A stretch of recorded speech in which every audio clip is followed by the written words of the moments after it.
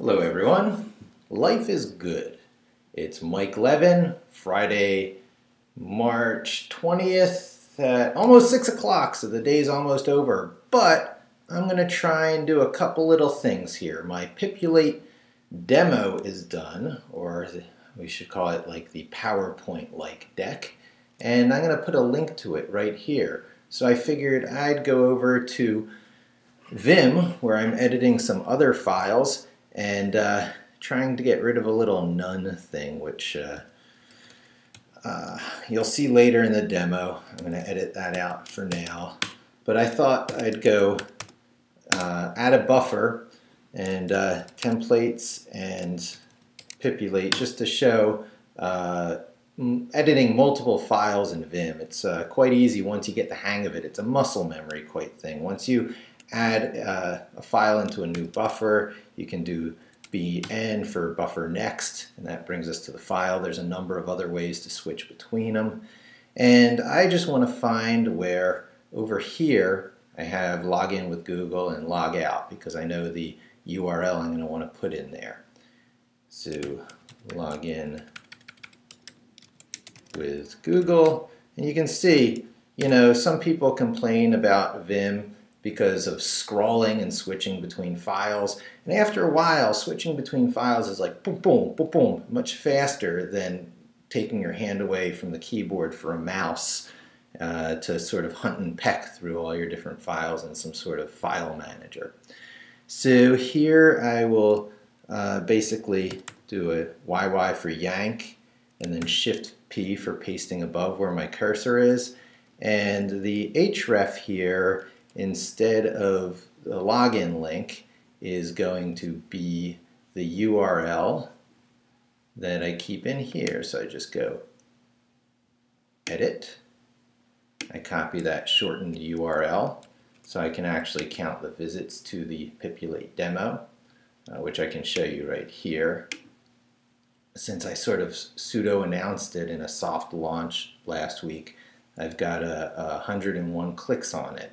Probably like five or six of those are me, but still, uh, there's people looking at it. So what I'm going to do right now is go back to that file, hit I for insert, do the Apple uh, pasting thing, and that's going to need that HTTP colon slash slash in front of it. And uh, we just put in, let's see, I'll do Shift D Actually, I have to get out of insert mode. Shift D for delete the rest of the line, A for insert mode, and watch demo. Close it back out.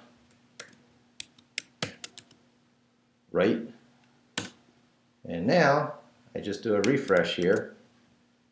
And there's the watch the demo link. You can see this updated in the background. This is kind of a special mode I have for uh, watching the use of Pipulate. It's kind of a debugging mode. If I were to control C out of it and do a refresh, you would see service unavailable. And whenever you set up your own Pipulate server, now all you do is you type dev pipulate and it'll even do command line completion with the tab because it's in your sbin directory. And you start it and now there's your server going again. A simple refresh here will show you what it's doing exactly. And if you're doing anything complicated, it'll have this fancy indenting so you can tell exactly where you are uh, in the whole affair. So we're just testing that. Watch the demo. There you have it. Uh, this I'm going to actually cut and do as a, a, separate demo. I just wanted to show you uh, a little bit of uh, Vim work. Uh, so back here, I can actually go colon bn and you know switch between my different files that are loaded. It's a really nice way to work on multiple files.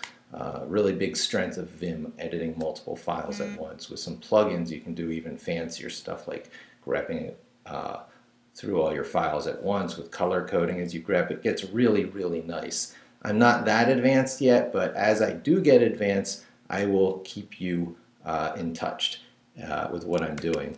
So uh, if I wanted to quit out of this one now, it would be colon b delete for buffer delete, and now there's just the one buffer loaded.